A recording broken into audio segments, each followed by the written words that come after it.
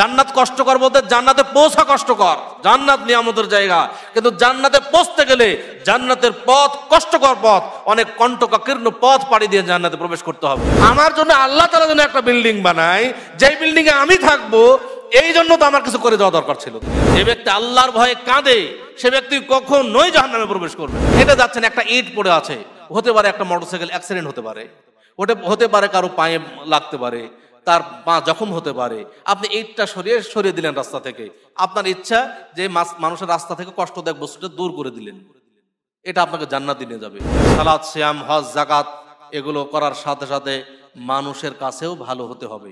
আপনি আপনার মাঝখানে এবং আল্লাহর শাস্তির মাঝখানে এমন প্রতিবন্ধকতা সৃষ্টি করবেন যা আপনাকে আল্লাহর শাস্তি থেকে বাঁচিয়ে দেবে। আহলেদিস আন্দোলন বাংলাদেশ।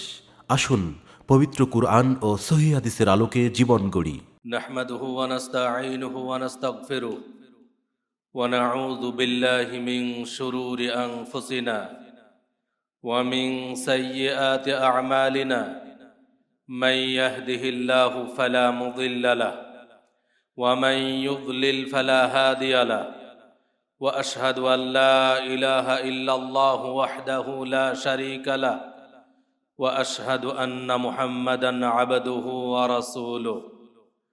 يا أيها الذين آمنوا اتقوا الله حق تقاته ولا تموتن إلا وأنتم مسلمون.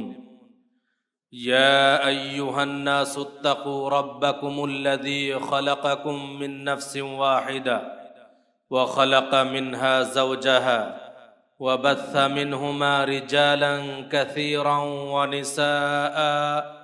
واتقوا الله الذي تساءلون به والأرحام. إن الله كان عليكم رقيبا. يا أيها الذين آمنوا اتقوا الله وقولوا قولا سديدا. يصلح لكم أعمالكم ويغفر لكم ذنوبكم. ومن يطع الله ورسوله فقد فاز فوزا عظيما আম্মা বাদ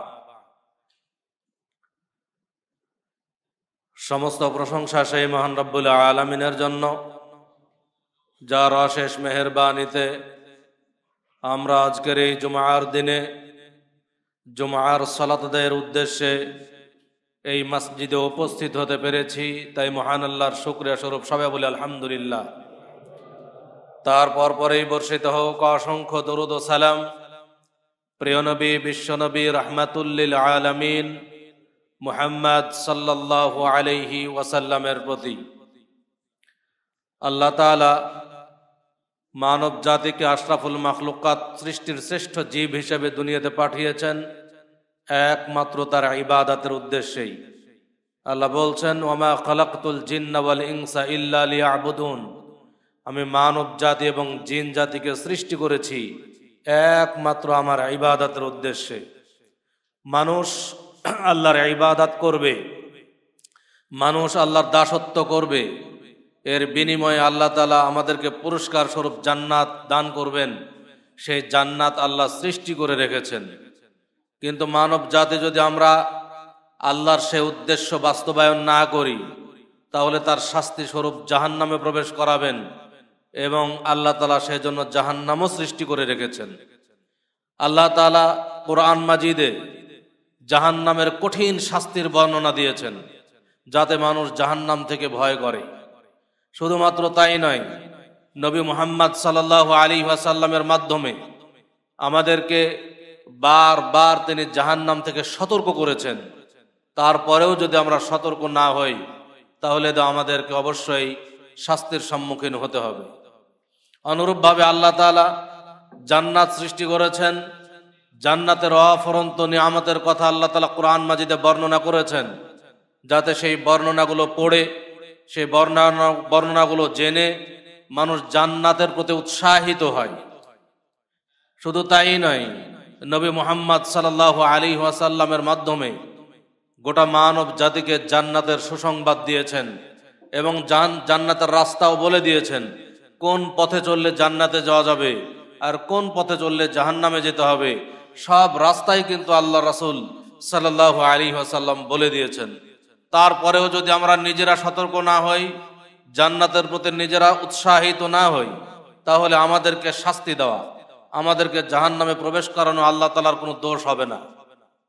অবশ্যই এই ব্যাপারগুলো আমাদের বিবেচনা করতে হবে। উন্নত কান্ট্রিগুলো তো যাবেন দেখবেন যে প্রত্যেকটা রোডে রোড স্পিড বোর্ড দেওয়া আছে। দেওয়া আছে যে একশো বিশ লেখা আছে বা একশো লেখা আছে। এর অর্থ হলো যে এই রোডে সর্বোচ্চ গতি হবে গাড়ির একশো কিলোমিটার বা একশো বিশ কিলোমিটার।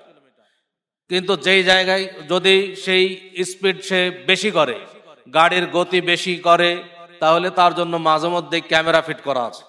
সেই ক্যামেরাতে ভিডিও করে নেবে ছবি তুলে নিবে এবং একটু পরে মোবাইলে মেসেজ আসবে যে, তোমার এত ঘণ্টা, এত মিনিট, এত সেকেন্ডে অমুক জায়গায় তোমার গাড়ির গতি এত বেশি ছিল, অতএব তোমার ফাইন এত। কিন্তু যত জায়গায় ক্যামেরা ফিট করা আছে, সব জায়গায় তার প্রত্যেকটা ক্যামেরার হাফ কিলোমিটার আগেই একটা করে বোর্ড দেওয়া আছে। সে বোর্ডে লেখা আছে ইনতাবি আমা আমাকা ক্যামেরা সাবধান, তোমার সামনে ক্যামেরা আছে।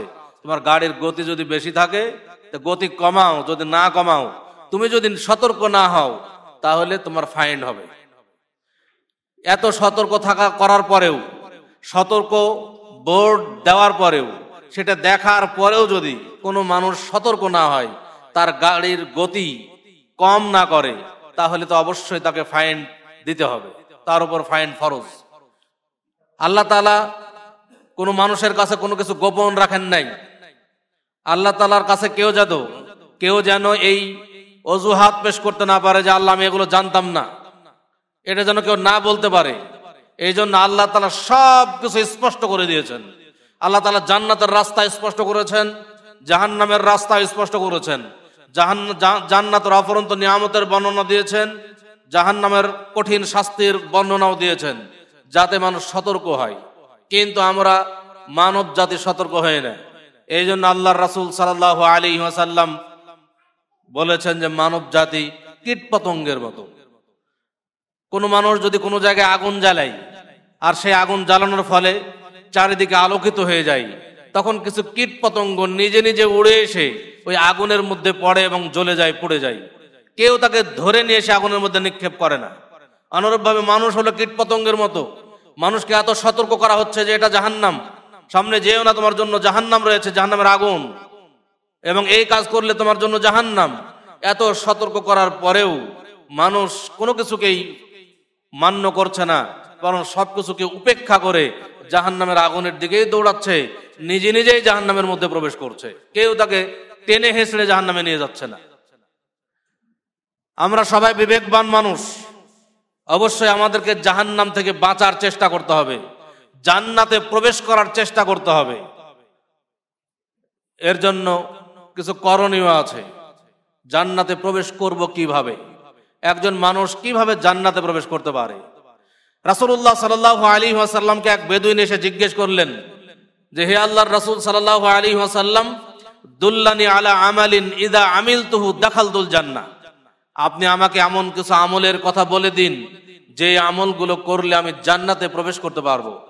রাসূলুল্লাহ সাল্লাল্লাহু আলী ওয়াসাল্লাম বললেন, তুমি যদি জান্নাতে প্রবেশ করতে চাও, তা'বুদুল্লাহ, তুমি আল্লাহর ইবাদত করবে।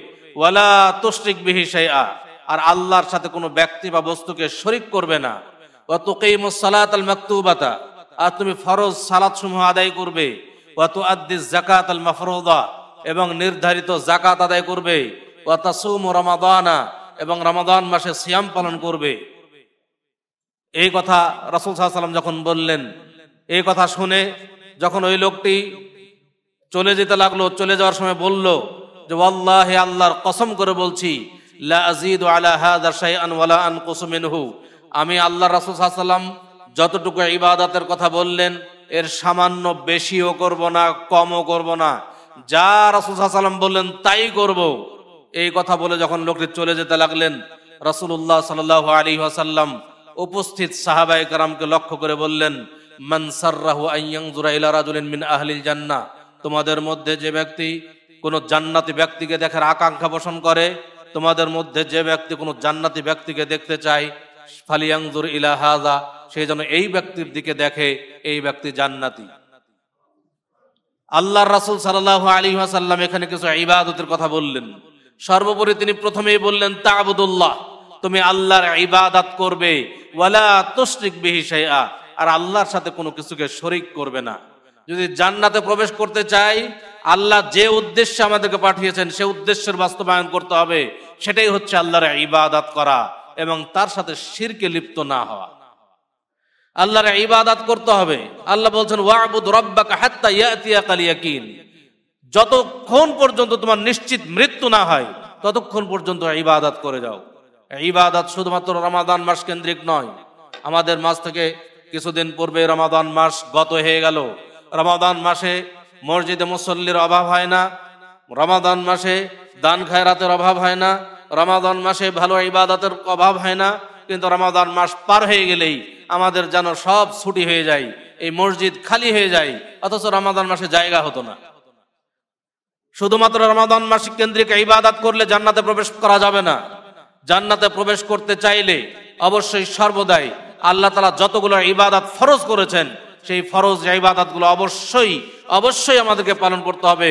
কোনো অবস্থাতেই কোনো ফরজ ইবাদাত ছেড়ে দেওয়ার কোনো অবকাশ মানুষের জন্য দেওয়া হয় নাই।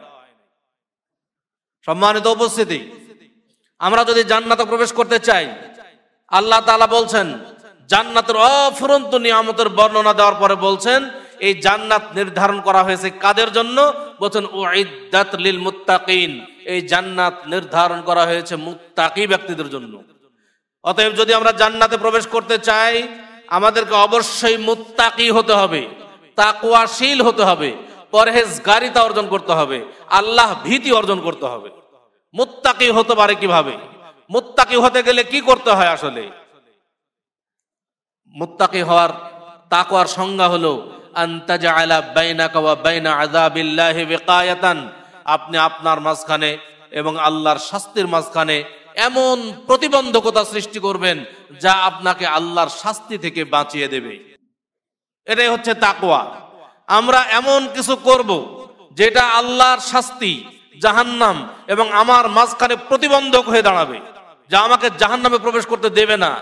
এই ধরনের কিছু প্রতিবন্ধকতা সৃষ্টি করা দরকার। সেইটা কি? সেটাই হলো ইবাদাত। আমি যদি আল্লাহর ইবাদাত করি, সেই ইবাদতই আমাকে জাহান্নামে প্রবেশ করতে বাধা প্রদান করবে। বহু আমল আছে জান্নাতে প্রবেশ কর- করাবে, জাহান্নাম থেকে বাধা প্রদান করবে। অতএব আমরা সর্বদা আল্লাহর ইবাদাত করার চেষ্টা করি। আল্লাহ যে জন্য আমাকে দুনিয়াতে পাঠিয়েছেন, সেই উদ্দেশ্যকে বাস্তবায়ন করার চেষ্টা করি, তাহলেই কেবল আমরা জাহান্নামের কঠিন আজাব থেকে বেঁচে যেতে পারব এবং জান্নাতে প্রবেশ করতে পারব। আমরা দুনিয়ার মানুষ সবার দ্বারাই পাপ হয়। এমন কিছু আমল আমরা করব যে পাপগুলো আমাদের জন্য ক্ষমা হয়ে যায়। যেমন আমরা অজু করব সুন্দরভাবে। সুন্দরভাবে অজু করব। অজুর ফজিলত কি? কত ফজিলত? আমরা অনেক মানুষ জানি না, শুধুমাত্র অজু করি তাই। কিন্তু অজুর যে কি ফজিলত? এটা সম্পর্কে আমরা অনেক জানি না। রাসূলুল্লাহ সাল্লাল্লাহু আলাইহি ওয়াসাল্লাম বলছেন কোন ব্যক্তি যখন অজু করে, যখন সে তার মুখমণ্ডল ধৌত করে, চোখ দিয়ে দেখার মাধ্যমে যত পাপ করেছে, এই পাপগুলো এই অজুর পানির সাথে বা পানির শেষ ফোঁটার সাথে ঝরে পড়ে যায়। যখন সে তার দুই হাত ধৌত করে, হাত দিয়ে যত পাপ করেছে, সেই পানির সাথে বা পানির শেষ ফোঁটার সাথে ঝরে পড়ে যায়। যখন সে তার দুই পা ধৌত করে তখন পা দিয়ে চলার মাধ্যমে যত পাপ করেছে এই পানির সাথে বা পানির শেষ ফোঁটার সাথে ঝরে পড়ে যায়। হাত্তা ইয়াকুনা নাকিয়াম মিনাজ যুনুব। রাসূল সাল্লাল্লাহু শেষ করে সে একেবারে পাপ থেকে পরিষ্কার, পরিচ্ছন্ন হয়ে যায়। আমরা যে সালাত আদায় করছি, এটা পাপ ক্ষমা হওয়ার অন্যতম একটা মাধ্যম।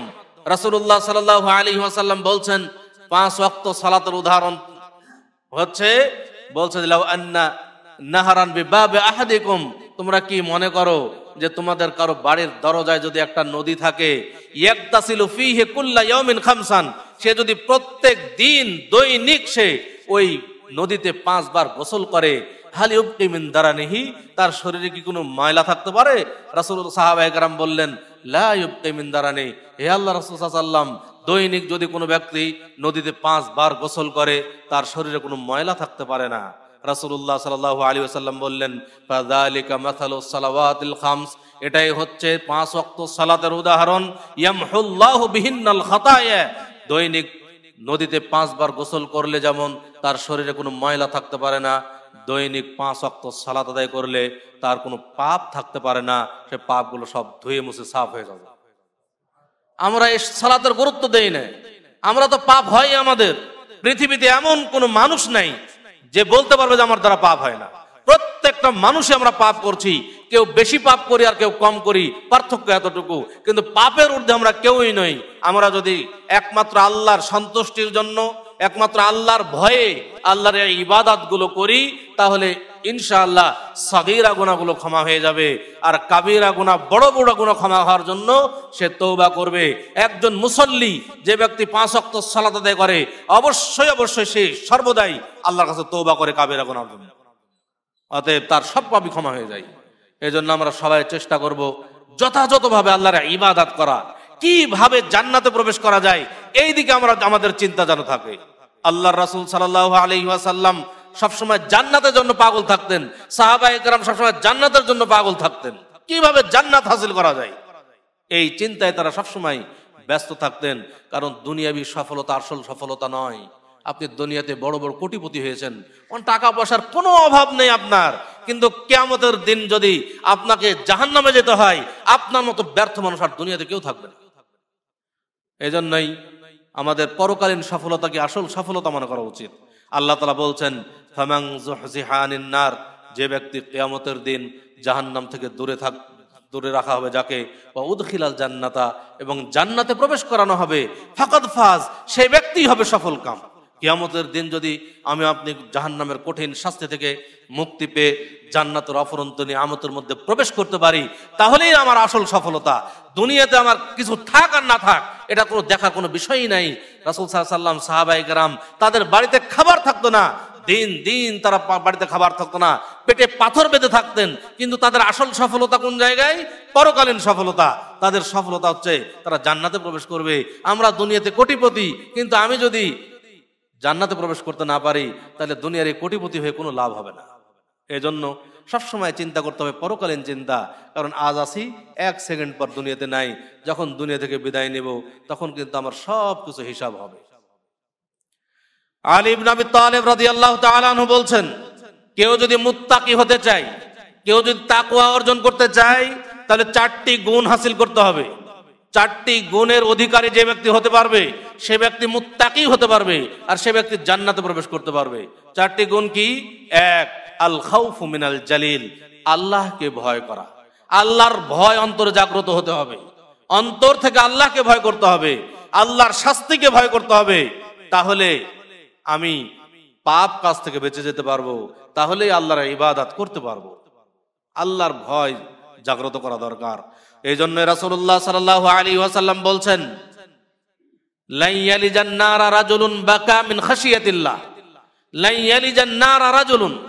ওই ব্যক্তি প্রবেশ করবে না। যে ব্যক্তি আল্লাহর ভয়ে কাঁদে। যে ব্যক্তি আল্লাহর ভয়ে কাঁদে, সে ব্যক্তি কখন নই কখনোই জাহান্নামে প্রবেশ করবে না। অতএব আমাদের অন্তর যদি আল্লাহকে সঠিকভাবে ভয় করে তাহলে আল্লাহর শাস্তির ভয় আমার অন্তর কেঁদে উঠবে। আমার চক্ষু দিয়ে অশ্রু প্রবাহিত হবে। আল্লাহর রাসূল সাল্লাল্লাহু আলাইহি সাল্লাম বলছেন, কিয়ামতের দিন, যেই দিন আল্লাহর আরশের ছায়া ব্যতীত কোনো ছায়া থাকবে না, সেই দিন সাত শ্রেণির মানুষ আল্লাহর আরশের ছায়া জায়গা পাবে। তার মধ্যে এক শ্রেণি কি? ওই ব্যক্তি যে নির্জনে আল্লাহকে স্মরণ করে। ফাফাদাত আয়না এবং তার চক্ষু দিয়ে অশ্রু প্রবাহিত হয়। নির্জনে বসে আল্লাহকে স্মরণ করে। আর আল্লাহর ভয়ে সে তার চোখ দিয়ে পানি বের হয়, এ ব্যক্তি কিয়ামতের দিন আল্লাহর আরসের ছায়া জায়গা পাবে। অতএব আমরা আল্লাহকে ভয় করার চেষ্টা করি প্রকৃতভাবে। সবসময় স্মরণ করি আল্লাহকে। কারণ আল্লাহ আমাকে সবকিছু দিয়েছেন। আল্লাহর জমিনে বসবাস করছি, আল্লাহর দেওয়া রুজি ভক্ষণ করছি, আল্লাহর দেওয়া পোশাক পরিধান করছি সব কিছু আল্লাহর দেওয়া। অথচ আল্লাহ যা চাচ্ছেন তা আমরা দিচ্ছি না আল্লাহকে। তাহলে আমার চাইতে না শকর বান্দার কে হতে পারে? আল্লাহ সব কিছুই দিচ্ছেন সব কিছু দিলেন। আল্লাহ বলছেন, তুমি আমার জমিনে বসবাস করো, আমার খাদ্য খাও, আমার পোশাক পরো, আমার সব নিয়ামত ভক্ষণ করো।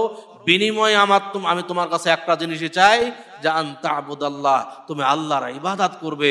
ওয়ালা তুশরিক বিহিশাইআ আর তুমি আল্লাহর সাথে শরিক করবে না। তাহলেই তোমার কাছে এতটুকুই আমার চাওয়া। কিন্তু যদি আমরা আল্লাহর যে চাওয়া সেটা না দেই, তাহলে তো আল্লাহ আমাকে যা দিচ্ছেন, এটা তো সন্তুষ্ট হয়ে দেবেন না। আল্লাহ এটা অসন্তুষ্ট থাকবেন, আল্লাহ সবাইকে দিচ্ছেন। মনে রাখতে হবে যে আল্লাহ দুনিয়াতে সবাইকে রুজি দিচ্ছেন। যারা কাফের তাকে আল্লাহ তালা রুজি দিচ্ছেন। হিন্দু তাকে আল্লাহ রুজি দিচ্ছেন। ইহুদি, খ্রিস্টান তাকে আল্লাহ তো রুজি দিচ্ছেন। রুজি আল্লাহ সবাইকে দিচ্ছেন। কিন্তু মনে রাখতে হবে যে আমরা যা কিছু করছি, যা কিছু বলছি যা কিছু দেখছি, যা কিছু শুনছি, সব রেকর্ড হচ্ছে। সব কিছু রেকর্ড হচ্ছে। কেয়ামতের দিন সেই রেকর্ডকৃত আমল নামা আমার আপনার হাতে আল্লাহ পেশ করবেন। পেশ করে বলবেন, ইকরা কিতাবাক, তুমি তোমার আমল নামা পড়ে দেখো। কাফা বিনাফসিকাল ইয়াউমা আলাইকা হাসিবা। তুমি তোমার আমল নামা পড়ো, দেখো। তোমার বিচারের জন্য তুমি নিজেই যথেষ্ট। দেখো তুমি জান্নাতি না জাহান্নাম। সেই দিন আমরা দেখব যে আমাদের ছোট, বড় সব লিপিবদ্ধ আছে। আমাদের চোখের সামনে সব ভেসে উঠবে, সব প্রকাশ হয়ে যাবে। সেই দিন আমরা আফসোস করব আর বলব, মা লিহাদ আল কিতাব এই কেমন কিতাব দেখছি, যেই কিতাবের মধ্যে কোনো বড় বিষয় ছাড়া হয়নি যে কিতাবের মধ্যে কোনো ছোট বিষয় ছাড়া হয়নি, সব লিপিবদ্ধ আছে।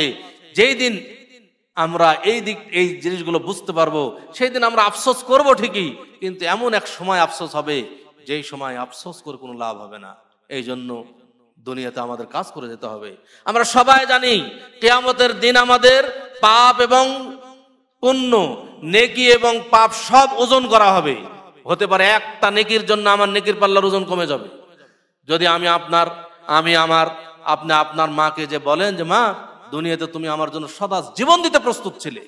আজকে একটা নেকির জন্য আমি জান্নাতে যেতে পারছি না। আমার নেকির পাল্লার ওজনটা কমে গেছে। তুমি, তোমার তো অনেক নেকি। তোমার অনেক নেকি থেকে একটা নেকি দিয়ে আজকে আমাকে সাহায্য করো। সেই দিন কিন্তু আমার মা আমাকে সাহায্য করবে না।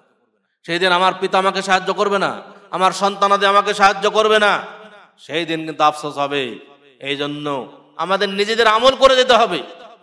আমাদের অনেক সহজ সহজ আমল যা আমরা করি না। রাসূলুল্লাহ সাল্লাল্লাহু আলী ওয়াসাল্লাম বলছেন যে দুইটি কালেমা একেবারে উচ্চারণ করতে সহজ, কিন্তু মিজানের পাল্লাই সব চাইতে ভারী এমন একটা আমল আছে যেটা একেবারে বলতেও সহজ। দুইটা কালেমা, কিন্তু মিজানের পাল্লা ভারী করার জন্য সবচাইতে বেশি কার্যকরী। সেই দোয়াটা কি আমরা কেউ বলি না সেটা হলো কি সুবাহান আকা ও বিহামদি সুবাহান আল্লাহিল সহজ একটা দোয়া। কিন্তু আমরা কি বলি? আমরা বলি না। এই দোয়াটা যদি আমরা উঠতে পড়তে সব সময় পড়ি, তাহলে তো আমার মিজানের পাল্লার ওজনটা ভারী হয়। আমরা কেন পড়ি না আসলে? আমরা অনেক কাজ করছি। দু চারজন এক জায়গায় কত কথাবার্তায় না বলি। দুনিয়াবি কথাবার্তার কোনো শেষ নাই।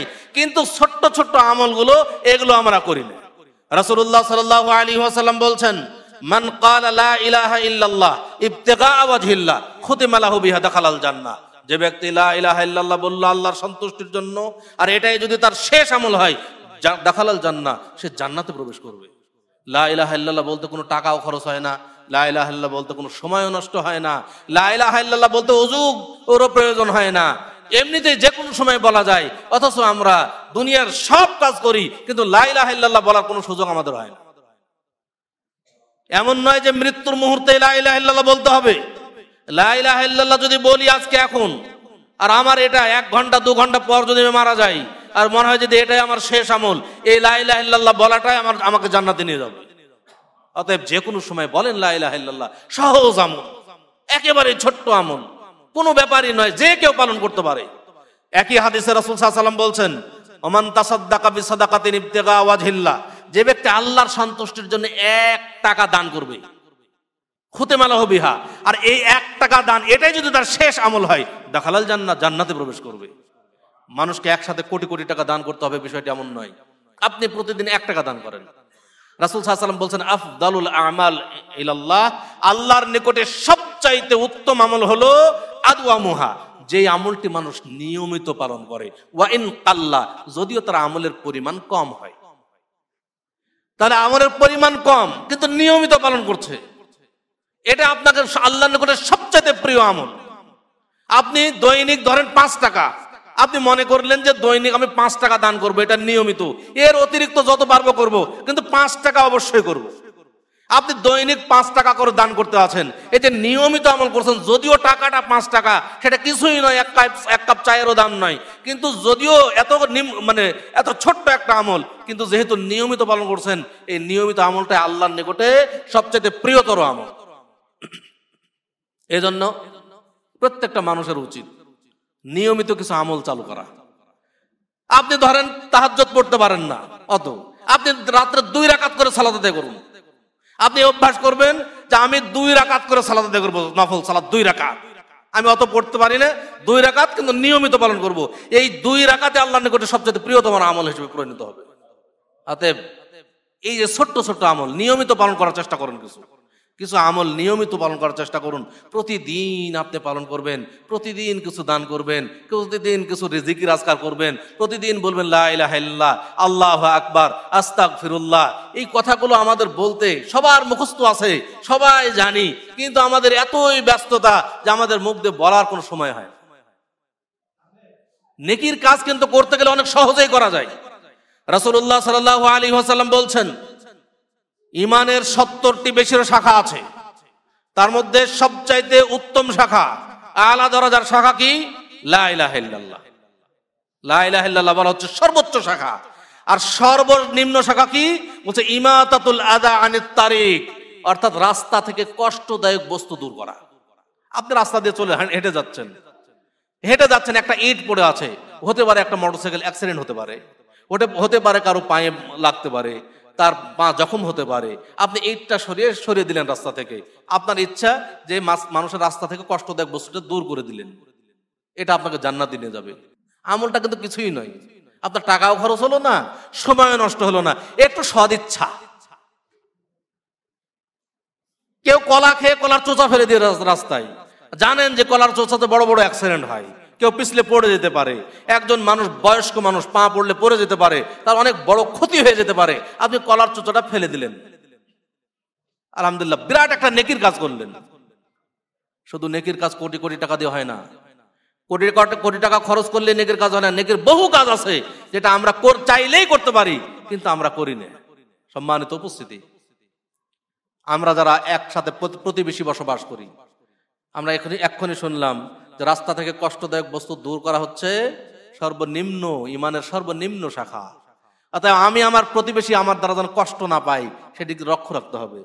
রাসূলুল্লাহ সাল্লাল্লাহু আলাইহি ওয়াসাল্লাম বলছেন, আল মুসলিমু মান সালিম আল ওয়া প্রকৃত মুসলিম সেই মুসলিম, যেই মুসলিমের হাত এবং জবান থেকে অন্য মুসলিমরা নিরাপদে থাকে। আমি আমার হাত এবং আমার জবান থেকে আমার প্রতিবেশী মুসলিমরা নিরাপদে থাকবে, তখনই আমি প্রকৃত মুসলিম হতে পারব। শুধুমাত্র সালাত আদায় করি শ্যাম পালন করি তাহাজ্জত পড়ি, সবকিছুই করি, কিন্তু প্রতিবেশীকে কষ্ট দেই, আমি কখনোই মুমিন হতে পারি না। অবশ্যই মুমিন হতে গেলে আমার যেমন সালাতের দরকার আছে, সিয়াম পালন দরকার আছে তাহাজ্জতের দরকার আছে, সাথে সাথে আমার প্রতিবেশীর সাথে আমার ভালো আচরণ হবে, প্রতিবেশী আমার কষ্ট থেকে কষ্ট পাবে না, এই বিষয়গুলো লক্ষ্য রাখতে হবে। রাসূলুল্লাহ সাল্লাহ আলী হাসাল্লাম একদা সাহাবা ইকরামকে নিয়ে পথ চলছেন। পথ চলতে চলতে দেখলেন যে একটা মানুষ মারা গেছে। সাহাবা একরাম বললেন, লোকটা খুব ভালো মানুষ ছিল। রাসূলুল্লাহ সাল্লাহ সাল্লাম বললেন ওয়াজাবাত ওয়াজিব হয়ে গেল। আবার পথ চলছেন চলছেন, চলতে চলতে দেখলেন যার একটা মানুষ মারা গেছে। সাহাবা একরাম বললেন যে লোকটা খুব খারাপ মানুষ ছিল। রাসূলুল্লাহ সাল্লাহ সাল্লাম বললেন, ওয়াজাবাত, ওয়াজিব হয়ে গেল।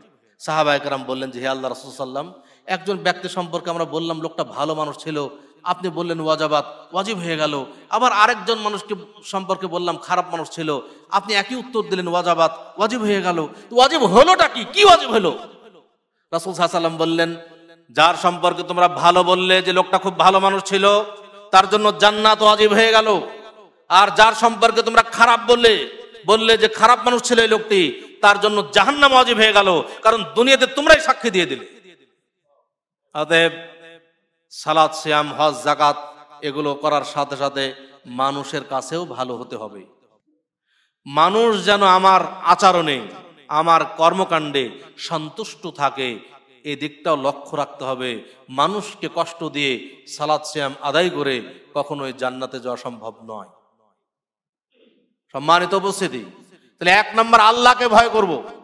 আল্লাহকে যদি ভয় করি, তাহলে এগুলো কিন্তু হয় না। মানুষ মানুষকে কষ্ট দেয় কখন? যখন মানুষের মধ্যে অহংকার চলে আসে। হয় সম্পদের অহংকার আসবে না হলে শক্তির অহংকার হবে না হলে ক্ষমতার অহংকার হবে না হলে এলমের অহংকার হবে। এই অহংকারগুলোর কারণে মানুষ মানুষকে কষ্ট দিয়ে থাকে। অথচ সবকিছুর মালিক আল্লাহ। আমি আপনি যখন মনে করব যে সব কিছুর মালিক আল্লাহ আল্লাহ আমাকে যে সম্পদ দিয়েছেন আল্লাহ দিয়েছেন, চাইলে এক সেকেন্ডের মধ্যে আমাকে ফকির বানিয়ে দিতে পারেন, তাহলে আমার এই সম্পদের অহংকার আসবে না আমার ভিতরে। আল্লাহ যদি মনে করেন, আমি যদি আল্লাহকে ভয় করি, আর যদি মনে করতে পারি যে আমাকে আল্লাহ যে ক্ষমতা দিয়েছেন দুনিয়াতে, এই ক্ষমতা মুহূর্তের মধ্যে আমার তসনস করে দিতে পারে, তাহলে এই ক্ষমতার অহংকার আমার আসবে না। অতএব এই অহংকার দূর করতে হবে, তাহলে আমার দ্বারা মানুষ কষ্ট পাবে না। মানুষ কিন্তু অহংকার করেই একজন আরেকজনকে কষ্ট দিয়ে থাকে। অহংকার মুক্ত হওয়া দরকার। পৃথিবীতে আমাদের কোনো অহংকার নাই। আল্লাহ পাঠিয়েছেন তার ইবাদত করার উদ্দেশ্যে। এক সময় আমরা পথিকের মতো এসেছি। আবার পথ চলতে চলতে দুনিয়া থেকে চলে যাব। এই দুনিয়া হচ্ছে দারুল ইমতিহান। দুনিয়া হচ্ছে পরীক্ষার হল। আমরা সবাই পরীক্ষার হলে অবস্থান করছি। পরীক্ষা দিচ্ছি। যে যত দুনিয়াতে ভালো পরীক্ষা দিতে পারব, সে তত বেশি ভালো পুরস্কার পাবো। পরকাল হচ্ছে দারুল জাজা। পুরস্কার লাভের জায়গা হচ্ছে পরকাল। দুনিয়া হচ্ছে পরীক্ষা দেওয়ার জায়গা। আমরা সবাই পরীক্ষা দিচ্ছি। পরীক্ষায় যেন আমরা ভালো রেজাল্ট করতে পারি, ভালো উত্তর দিতে পারি, সেই চেষ্টা আমাদের সকলের থাকা উচিত। রাসূল আলী ইবনে আবি তালেব বলছেন, চারটা গুণ হাসিল করতে হবে মুত্তাকি হওয়ার জন্য। এক নম্বর বললাম আল খাউফু মিনাল জালিল, আল্লাহকে ভয় করা। দুই ওয়াল আমালু বিতানজিল আল্লাহর নাজিলকৃত ওহির বিধান অনুযায়ী আমল করা। আমি, আপনি যদি মুত্তাকি হতে চাই, যে কোনো আমল করব যখন, দেখব যে আল্লাহ রাসূল সাল্লাম করেছেন কিনা, কোরআন এবং সহিহ হাদিস এই আমলের স্বীকৃতি দিচ্ছে কিনা। যদি দেয়, করব, এটা হচ্ছে মুত্তাকির বৈশিষ্ট্য। মুত্তাকের বৈশিষ্ট্য হলো, সবসময় সে কোরআন, হাদিস অনুযায়ী আমল করবে। আমি লম্বা পোশাক পরেছি, লম্বা জুব্বা, লম্বা পাগড়ি, কিন্তু আমি আল্লাহর সাথে শিরকে লিপ্ত, বিভিন্ন বিদাতে লিপ্ত, আমল করার সময় কোরআন সৈহাদিসকে লক্ষ্য করি না কোরআন সৈহাদিসের অনুসরণ করি না, রাসুল সাল্লামের সুন্নাতের অনুসরণ করি না, আমি যতই দাড়িওয়ালা মানুষ হই না কেন, আর যতই লম্বা পোশাক থাক না কেন, আর লম্বা পাগড়ি থাক না কেন, আমি কখনোই মুত্তাকি নই। মুত্তাকি হতে গেলে অবশ্যই অবশ্যই কোরআন এবং সৈহাদিস অনুযায়ী আমাকে আপনার আপনাকে আমল করতে হবে। তিন নাম্বার ওয়ার রেদা বিল কালিল অল্পে তুষ্ট থাকা। আমরা যদি মুত্তাকি হতে চাই, অল্পে তুষ্ট থাকতে হবে। অল্পে তুষ্ট থাকা এটা খুবই জরুরি একটা বিষয়। কিন্তু আমরা আসলে অল্পে তুষ্ট থাকতে পারি না। আমাদের চাই আর চাই কত হলে আমাদের পেট পূর্ণ হবে, সেটা আল্লাহ ভালো জানে। এই জন্যই আল্লাহর রাসুল সাল্লাহ সাল্লাম বলেছিলেন তুরাব। প্রকৃতপক্ষে মানুষের সম্পদ দ্বারা পেট পূর্ণ হবে না, ইল্লা তোরাব, মাটি ব্যতীত, কবর ব্যতীত। যেই দিন সে কবরে চলে যাবে, সেই দিন আর কোনো সম্পদের মোহ থাকবে না। কবরে চলে গেলেই সব শেষ। রাসূলুল্লাহ সাল্লাল্লাহু আলাইহি ওয়াসাল্লাম বলছেন, মান আসবাহা মিনকুম আমিনান ফি সিরবিহি। তোমাদের মধ্যে যে ব্যক্তি তার পরিবার, পরিজন নিয়ে দুনিয়াতে নিরাপদে বসবাস করে, মুআফান ফি জাসাদিহি, শারীরিকভাবে সুস্থ থাকে, ইনদাহু কুতু ইয়াউমিহি, আর তার বাড়িতে এক দিনের খাবার মজুদ থাকে তা কান্নামা হিজাত লাহুদ দুনিয়া, তার দুনিয়ার সবকিছুই তার বাড়িতে বিদ্যমান, তার কোনো কিছুর অভাব নাই। যে ব্যক্তি দুনিয়াতে নিরাপদে বসবাস করে, শারীরিকভাবে সুস্থ থাকে, একদিনের খাবার মজুদ থাকে, তার সব কিছুই আছে। বর্তমান জামানায় এমন মানুষ পাওয়া খুব কঠিন, যার বাড়িতে একদিনের খাবার মজুদ নাই। কিন্তু আমাদের অভাবের শেষ নাই। আমাদের দেখলে যেন মনে হয়, যে যত বড় কোটিপতি, তার অভাব ততই বেশি। কারণ, যার এক কোটি টাকা আছে, এমন পরিকল্পনা গ্রহণ করেছে, যেটা বাস্তবায়ন করতে গেলে দশ কোটি টাকা লাগবে। মানে আরও নয় কোটি টাকা তার শর্ট। যার বাড়িতে দশ কোটি টাকার মালিক যে, সে এমন পরিকল্পনা গ্রহণ করেছে যেটা বাস্তবায়ন করতে গেলে তিরিশ কোটি লাগবে। তাহলে তার সবসময় শর্ট। অভাবের শেষ নাই। যার যত বেশি, তার তত বেশি বড় বড় পরিকল্পনা। কিন্তু আমরা এ কথা ভাবতে পারি, খুব কম মানুষই এ কথা ভাবতে পারি। যে আল্লাহ, আলহামদুলিল্লাহ আল্লাহ আমাকে যা দিয়েছেন, যথেষ্ট দিয়েছেন। আলহামদুলিল্লাহ, আল্লাহর শুক্রিয়া আদায় করা মানুষ, খুব কম মানুষ আছে। সম্মানিত উপস্থিতি, আমাদের যত কোটি কোটি টাকার সম্পদ আছে, যখন মারা যাব, কিছুই আমাদের সাথে যাবে না। সব রেখে দুনিয়া থেকে চলে যেতে হবে। রাসূলুল্লাহ সাল্লাহ সাল্লাম বলছেন, মানুষ যখন মারা যাবে, কবর পর্যন্ত তিনটি জিনিস তার অনুসরণ করে। এক, আহলুহু, তার আহাল পরিবার। দুই, মালুহু, তার ধন সম্পদ। তিন আমালুহু, তার আমল সমূহ যখন কবরে রাখা হবে, তখন দুইটি জিনিস ফিরে চলে আসবে। আহাল পরিবার কেউ থাকবে না সাথে, ধন সম্পদও কেউ কিছুই যাবে না। আপনার সন্তান আপনাকে বলবে না আপনার জন্য যে, আমার বাবা কোটি টাকার সম্পদ রেখে গেল, এক হাজার টাকার একটা নোট কবরে দেই। এটা বলবে না। কেন? কারণ জানে যে, এক হাজার টাকার নোট দেওয়া মানে বেকার, নষ্ট হয়ে যাওয়া, কোনোই কাজে আসবে না। বলবে না। বরং মৃত্যুর পরে আমার সন্তানরা, আপনার সন্তানরা আমার রেখে যাওয়া সম্পদ নিয়ে মারামারি লাগবে। এ বলবে ওটা আমি নেব, ও বলবে ওটা আমি নেব। মারামারি লাগবে। ওয়াবকা আমালুহু, শুধু বাকি থাকবে তার আমল। ভালো আমল আর খারাপ আমল সবই যাবে সাথে। আমল যদি ভালো নিয়ে যেতে পারি, তাহলে জান্নাত। আর আমল যদি খারাপ নিয়ে যায়, পরিণাম হবে জাহান্নাম। অতএব আমাদের সাথে যেন ভালো আমল নিয়ে যেতে পারি, সেটাই চেষ্টা করা দরকার। সাহাবাহিকরাম সবসময় সেই চেষ্টাটাই করেছেন। সব সময় সেই চেষ্টাই করেছেন। রাসূলুল্লাহ সাল্লাল্লাহু আলী আসাল্লামের জামানায় একজন এতিম বালক ছিল। যে এতিম বালকটির একটা ছোট্ট খেজুরের বাগান ছিল। সেই ছোট্ট খেজুরের বাগানের পাশেই অন্য একজন ব্যক্তির একটা খেজুরের বিশাল এক খেজুরের বাগান ছিল। এতিম বালকটি একসময় মনে করল যে তার খেজুর বাগান, বাগানটি বাউন্ডারি দিয়ে ঘিরে দিবে। বাউন্ডারি দিতে গিয়ে দেখল যে পার্শ্ববর্তী বড় বাগানের মালিকের একটা গাছ মাঝখানে পড়ে যায়। সে বাউন্ডারি দিতে পারে না। এতিম বালকটি বড় বাগানের মালিককে আবেদন করল যে আপনার তো অনেক গাছ, একটা গাছ যদি আমাকে দিয়ে দিতেন আমার উপকার হতো। কিন্তু দিতে চাইলো না। এতিম বালকটি বলল, যে আপনি যদি এমনি দাঁত না চান, বিক্রি করেন, আমি কিনে নিতে রাজি আছি, কিন্তু বিক্রি করতেও চাইলো না। এতিম বালকটি এই ঘটনা রাসুল সাল্লামকে জানালো। রাসুল্লাহ সাল্লাহ আলী আসাল্লামের কাছে যখন এই ঘটনা পৌঁছলো, রাসুল সাল্লাম ওই বড় বাগানের মালিককে ডাকলেন। ডেকে বলছেন যে, তুমি একটা খেজুরের গাছ এতিম বালকটিকে দিয়ে দাও। ওই লোকটি বলছে, না, আল্লাহ রাসুল সাল্লাম আমি দেবো না। দ্বিতীয়বার আবার রাসুল সাল্লাম তাকে বললেন, তুমি একটা খেজুরের গাছ এতিম বালকটিকে দিয়ে দাও। দ্বিতীয়বার একই কথা বলল যে, না, আল্লাহ রাসুল সাল্লাম তবু আমি দেবো না। তৃতীয়বার আবার রাসুল সাল্লাম তাকে রিকোয়েস্ট করলেন তুমি একটি খেজুরের গাছ এতিম বালকটিকে দিয়ে দাও।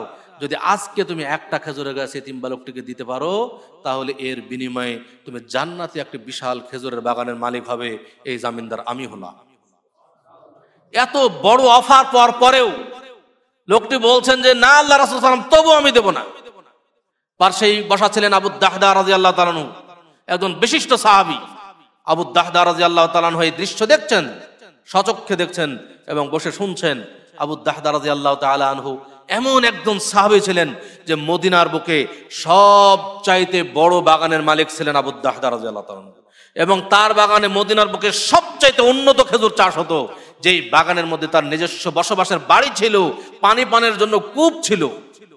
আবু দাহদা রাজি আল্লাহ তালানহু যখন দেখলেন যে এত বড় অফার পর পরেও এ লোকটি গ্রহণ করল না, একটা খেজুরের গাছ দিতে চাইলো না, আবু দাহদা রাজি আল্লাহ তালানহু সাথে সাথে রাসুল সাল্লামকে বললেন যে, হে আল্লাহ রসুল সাল্লাম, আপনি যে এত বড় অফার দিলেন, এই অফারটি কি শুধু ওই ব্যক্তির জন্যই খাস? নাকি যে কোনো ব্যক্তি আজকে যদি যে কোনো মূল্যের বিনিময়ে এই একটা খেজুরের গাছ নিয়ে দেওয়ার ব্যবস্থা করে, আপনি কি তার জন্য এই অফার রাখছেন? অর্থাৎ তার জন্য কি আপনি একটা জান্নাতে খেজুর বাগানের মালিক হওয়ার জামিনদার হবেন? রাসুল সাল্লাম বললেন যে হ্যাঁ যদি আজকে এই একটা খেজুরের গাছ কোনো ব্যক্তি যে কোনো মূল্যের বিনিময়ে ওই এতিম বালকটিকে নিয়ে দেওয়ার ব্যবস্থা করতে পারে, তার জন্য আমি জান্নাতে একটা খেজুরের বাগানের মালিক হওয়ার জামিনদার হলাম। এবার আবুদ্দাহ দারাজি আল্লাহ তালাহ বলছেন, ওই বড় বাগানের মালিক যে একটা খেজুরের গাছ দিতে চাইনি। আবুদ্দাহ দারাজি আল্লাহ তালাহ বললেন, যে আপনি কি আমার বাগান চেনেন? তো হ্যাঁ চিনি আপনার বাগান চেনেন এ ধরেন কে আছে? সবাই তো আপনার বাগান চেনে। আবুদ্দাহ দারাজি আল্লাহ তালাহ বললেন, আপনি একটা খেজুরের গাছ এতিম বালকটিকে দিয়ে দিন। বিনিময়ে আমার পুরা বাগান, বাড়ি, কূপ সব কিছুর মালিক হয়ে যান। এই সব কিছুর বিনিময়ে আজকে একটা খেজুরের গাছ এতিম বালকটিকে দিয়ে দিন। রাজি হয়ে গেল। এবার আবুদ্দাহদা রাজি আল্লাহ তালানহ বাড়ি ফিরে যাচ্ছেন। আবুদ্দাহদা রাজি আল্লাহ তালানহ বাড়ি ফিরে গিয়ে বাড়িতে প্রবেশ করছেন না। বাড়ির দরজা থেকে তার স্ত্রীকে ডাকছেন উম্মাদ দাহদা, হে দাহদাহের মা, বাড়ি থেকে বেরিয়ে আসো। উম্মুদ দাহদা রাজি আল্লাহ তালানহা বাড়ির ভেতর থেকে বলছেন, কি হয়েছে? আপনি বাড়িতে প্রবেশ করছেন না কেন? আবুদ্দাহদা রাজি আল্লাহ তালানহু বাহির থেকে বললেন যে আমি বাড়িতে প্রবেশ করব না, তুমি বাড়ি থেকে বেরিয়ে আসো, আমি আমার এই বাগান, বাড়ি সব বিক্রি করে দিয়েছি। উম্মুদ্দাহদা রাজি আল্লাহ তালানহা ভেতর থেকে বললেন, যে এত বড় বাগান, বাড়ি আপনি কিসের বিনিময়ে বিক্রি করলেন? আবু দাহাদার দে আল্লাহ তালা আনহু বাহির থেকে বললেন, আমি জান্নাতে একটা খেজুরের বাগানের বিনিময়ে দুনিয়ার এই বাগান, বাড়ি আমি সব বিক্রি করে দিয়েছি। সাথে সাথে তার স্ত্রী বলে উঠেছিলেন যে আপনার ব্যবসা খুব লাভজনক হয়েছে। আপনার ব্যবসা খুব লাভজনক হয়েছে, আপনার ব্যবসা খুব লাভজনক হয়েছে। এই কথা বলতে বলতে তার স্ত্রী বাড়ি থেকে বেরিয়ে এসেছিলেন। কি দৃশ্য! এটা কোনো বানোয়াট কিসা কাহিনী নয়। এটা সহিয়াদিসের সত্য ঘটনা। সহিয়াদিসে বর্ণিত হয়েছে, রাসুল সাল্লামের জামানায় ঘটে যাওয়া একটা ঘটনা। দেখুন, কি দৃশ্য! এই ধরনের স্ত্রী পাবেন কোথায়? যে স্ত্রী এত কিছু দান করে দেওয়ার সব কিছু বিলিয়ে দিলেন, সাথে সাথে সামান্যতম কথা বললেন না যে কেন দিলেন এত? সাথে সাথে বলে উঠলেন, আপনার ব্যবসা খুব লাভজনক হয়েছে। আবু দাহদারাজ আল্লাহ একবারের জন্য চিন্তা করেননি যে আমি এত বড় বাগান, আমার সবকিছু বিলিয়ে দেবো, আমি কি করব, দুনিয়াতে কি খাব? এই চিন্তা একবারের জন্য করেননি। দেখছেন, এত বড় অফার দিয়েছে এই ব্যক্তিকে, সে গ্রহণ করল না। আমি গ্রহণ করতে পারি কিনা সবকিছুর বিনিময়ে? আবু দাহদারাজ আল্লাহ সেই অফারটি গ্রহণ করে নিলেন সব কিছু বিলিয়ে দিলেন। কেন? তারা বুঝেছিলেন পরকালের মর্যাদা। তারা বুঝেছিলেন জান্নাতের মর্যাদা। তারা বুঝেছিলেন যে দুনিয়াতে আসলে কি? কিছুই না। দুনিয়া দুনিয়াতে তো আমরা এসেছি পরীক্ষা দিতে। দুনিয়ার কি মূল্য আছে? পরকালই হচ্ছে মেন পরকালে যদি আমি জান্নাত হাসিল করতে পারি, তাহলে দুনিয়ার এই বাগান বাড়ি দিয়ে আমি কি করব? কি হবে এগুলো দিয়ে? এই জন্য সব কিছুর বিনিময়ে জান্নাত পেতে চেয়েছেন। আল্লাহ রাসুল সাল্লামের হাদিস একটা সবাই শুনি আমরা। রাসুল সাল্লাম বলছেন মাম বানা আলিল্লাহি মসজিদান, বানাল্লাহু লাহু বাইতান ফিল জান্নাহ। যে ব্যক্তি আল্লাহর জন্য দুনিয়াতে একটা মসজিদ নির্মাণ করল, আল্লাহ তালা তার জন্য জান্নাতে একটা ঘর নির্মাণ করবেন। আমাদের মধ্যে বহু ব্যক্তি আছি, যারা একা এক একটা মসজিদ বানিয়ে দিতে সক্ষম। বহু ব্যক্তি আছি, কিন্তু আমাদের কি মন চায় না যে আমি জান্নাতে আমার জন্য আল্লাহ তালা একটা ঘর নির্মাণ করুক? মরে তো যাবই, আমরা তো বড় বড় বিল্ডিং বানাচ্ছি মাসা আল্লাহ কিন্তু আমি কি এই বিল্ডিং এ থাকতে পারব? আমার জন্য আল্লাহ তালা জন্য একটা বিল্ডিং বানায়, যেই বিল্ডিং এ আমি থাকব, এই জন্য তো আমার কিছু করে যাওয়া দরকার ছিল দুনিয়াতে। কিন্তু এটা আমরা কয়জন করছি? আমরা করছি না। দুনিয়াতে সফলতা অর্জনের জন্য অনেক কিছুই করছি। দুনিয়া অর্জনের জন্য আমরা বহু পরিশ্রম, বহু মেহনত করছি। কিন্তু যেই দুনিয়ার এক সেকেন্ডের বিশ্বাস নাই, এই এক সেকেন্ড পর মরে যেতে পারি পরকালীন জীবন, স্থায়ী জীবন, চিরস্থায়ী জীবন, সেই জীবনের জন্য আমরা কতটুকু মেহনত করলাম? কতটুকু পরিশ্রম করছি? আমরা নিজের অন্তরকে প্রশ্ন করলেই আমাদের কাছে উত্তর আছে। সবাই নিজের অন্তরকে প্রশ্ন করি, আসলে আমি আমার ভবিষ্যতের জন্য কি করছি? পরকাল এর জন্য আমি কতটুকু করছি আমি? এটা আমার নিজের অন্তরকে প্রশ্ন করা দরকার। প্রশ্ন করলে সবার কাছে উত্তর আছে, কেউ আমরা এখানে অবিবেকবান মানুষ নয় সবাই বিবেকবান মানুষ। সবাই বিবেক, বিবেকবান, সবার বিবেক আছে, বুদ্ধি আছে। সবাই চিন্তা করলে এই বিষয়গুলো আমাদের কাছে সহজ হয়ে যায়। সম্মানিত উপস্থিতি, দুনিয়া বেশি দিনের নয়। আমরা দুনিয়াকে যত ভালোবেসে, দুনিয়া, ভালোবেসেছি, দুনিয়া আতুল, আসলে এত ভালোবাসার বস্তু নয়। আল্লাহ রাসুল সাল্লাহ আলী আসাল্লাম পরকাল আর দুনিয়ার উদাহরণ দিচ্ছেন এইভাবে। তিনি বলছেন, মাদ দুনিয়া ফিল আখরা। পরকাল আর দুনিয়ার উদাহরণ হচ্ছে এমন, মা ইয়াজআলু আহাদুকুম ইসবাহু ফিল ইয়াম। যে তোমাদের মধ্যে কেউ যদি তার এই শাহাদাত আঙ্গুলি বিশাল সমুদ্রের মাঝখানে ডুবিয়ে দেয়, ফালিয়াংজুর বিমায়ার যায় সে তার আঙ্গুলি সমুদ্র থেকে উঠিয়ে দেখুক যে তার আঙ্গুলিতে কতটুকু পানি লেগে আছে। বিশাল সমুদ্রের পানি যদি একদিকে রাখা হয়, আর আঙ্গুলিতে লেগে থাকা এক ফোঁটা পানি যদি একদিকে রাখা হয়, এই এক ফোঁটা পানির কি কোনো মূল্য থাকবে? বিশাল সমুদ্র একদিকে, আর আঙ্গুলিতে এক ফোঁটা লেগে পানি লেগে আছে, এক ফোঁটা পানি একদিকে। কোনো মূল্য থাকবে না। বিশাল সমুদ্র হচ্ছে পরকাল, আর আঙ্গুলিতে লেগে থাকা এক ফোঁটা পানি হচ্ছে দুনিয়া। আমরা দুনিয়ার সকল মানুষ এই এক ফোঁটা পানি নিয়েই কাড়াকাড়ি করছি, এই এক ফোঁটা পানির পেছনে ছোটাছুটি করছি। অথচ বিশাল সমুদ্র আমাদের সামনে বিদ্যমান। কেউ আমরা সেদিকে যাচ্ছি না। খুব কম মানুষ পরকালের দিকে ছুটছি। অথচ আমরা সবাই জানি যে আমরা মৃত্যুবরণ করব। সবাই জানি মৃত্যুবরণ করলে আমরা কিছুই সাথে যাবে না। আল্লাহ রসুল তারে কহলেন নাস। মানুষের জন্য সবকিছু ছেড়ে চলে যেতে হবে দুনিয়া থেকে। সবাই জানে, এটা চিরসত্য কথা। আমাদের সামনে থেকে বহু মানে প্রতিনিয়ত কত মানুষ হারিয়ে যাচ্ছে। কিন্তু আমাদের কি হুঁশি হচ্ছে? আমাদের কি, আমরা কি শিক্ষা গ্রহণ করছি সেভাবে? আমরা কত জানাজায় শরিক হচ্ছি। জানাজা সালাদ করছি মাইয়েতকে বিদায় দিচ্ছি। কিন্তু সেখান থেকে আমরা কয়জন শিক্ষা গ্রহণ করছি? আজকে একজনকে বিদায় দিচ্ছি। আমাকেও একদিন বিদায় দেওয়া হবে। এই চিন্তাটা আমরা কয়জন মানুষ করছি? এই জন্য সবাই চিন্তা করি। পরকালকে নিয়ে বেশি ভাবি। পরকালকে নিয়ে বেশি ভাবা দরকার। আল্লাহ তালা আমাদের বিভিন্নভাবে পরীক্ষা করছেন দুনিয়াতে। কাউকে বহু সম্পদ দিয়ে পরীক্ষা করছেন। আবার কাউকে কাউর থেকে সম্পদ কেড়ে নিয়ে পরীক্ষা করছেন। কাউকে সুখ দিয়ে পরীক্ষা করছেন, কাউকে দুঃখ দিয়ে পরীক্ষা করছেন, আমরা ইমানের পরীক্ষায় আছি সবাই, দুনিয়ায় হচ্ছে পরীক্ষাগার, পরীক্ষায় ফেল করা চলবে না। পরীক্ষায় পাশ করতে হবে। যদি আমরা দুনিয়াতে পাশ করতে পারি, তাহলে আলহামদুলিল্লাহ, পরকালে আমরা চিরস্থায়ীভাবে জান্নাতে বসবাস করব। কিন্তু যদি আমরা ফেল পড়ে যাই পরীক্ষায়, তাহলে পরকালে যদি জাহান নামে যেতে হয়, সেই দিন আমাদের আফসোসের শেষ থাকবে না। জান্নাতে শুধু যেতে চাই বললে যাওয়া সম্ভব নয়। সবাই কিন্তু আমরা জান্নাত যাব বলে কিন্তু মসজিদে এসেছি সালাত করতে। কিন্তু জান্নাত কিন্তু সহজ জায়গা নয়। জান্নাতে যেতে চাইলে অবশ্যই অবশ্যই ত্যাগ স্বীকার করতে হবে। রাসুল্লাহ সাল্লাহ আলী আসাল্লাম বলছেন, যখন আল্লাহ তালা জান্নাত সৃষ্টি করলেন, জিবরিল আলী হিসালাতামকে বললেন, জিবরিল, যাও জান্নাত দেখে আসো। জিবরিল আলী হিসালাতাম জান্নাত দেখে এসে বলছেন যে আল্লাহ জান্নাতে যাবে না ধরেন মানুষ কি পাওয়া যাবে? সবাই তো জান্নাতে যেতে চাইবে। এত সুখ মানুষ কি ছাড়তে চাই এইবার আল্লাহ তালা কষ্টদায়ক বস্তু দিয়ে জান্নাত ঘিরে দিলেন। যেগুলো কষ্টদায়ক বস্তু অতিক্রম করে জান্নাতে প্রবেশ করতে হবে। আল্লাহ জিবরিল আলাইসাল্লামকে বলেন জিবরিল, যাও এইবার জান্নাত দেখে আসো।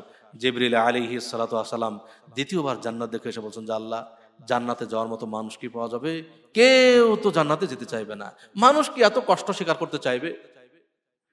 এ হাদিস থেকে বোঝা গেল জান্নাত কষ্টকর জায়গা। জান্নাত কষ্টকর বলতে জান্নাতে পৌঁছা কষ্টকর, জান্নাত নিয়ামতের জায়গা।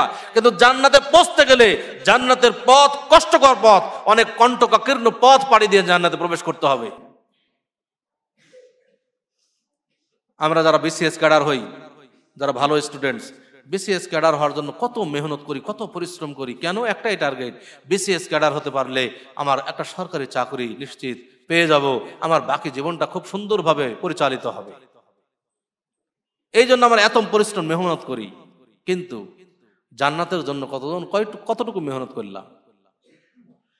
দুনিয়ার জীবন সুন্দরভাবে চলার জন্য অনেক মেহনত করলাম। পরকালীন জীবন যেন আমার সুন্দর হয়, ভালো হয় এই জন্য আমরা কতটুকু মেহনত করলাম, কতটুকু মেহনত করছি? এটা আমরা নিজেদেরকে প্রশ্ন করি। সম্মানিত উপস্থিতি পরকালের জন্য কিছু স্থায়ী কর্মসূচি গ্রহণ করি, কিছু সাদাকায় জারিয়া করে দেওয়ার চেষ্টা করি, যেটা আমার মৃত্যুর পরে আমার আমল নামে নেকি যোগ হতে থাকবে। এই যে মসজিদ, যত মানুষ এই মসজিদে সাহায্য করেছেন, যত দিন এই মসজিদ টিকে থাকবে, যত মানুষ সালাত আদায় করবে, সকল মানুষের নেকির সমপরিমাণ নেকি আপনার আমল নামায় যোগ হতে থাকবে। আপনার মৃত্যুর পরেও আমল নামায় যোগ হতে থাকবে।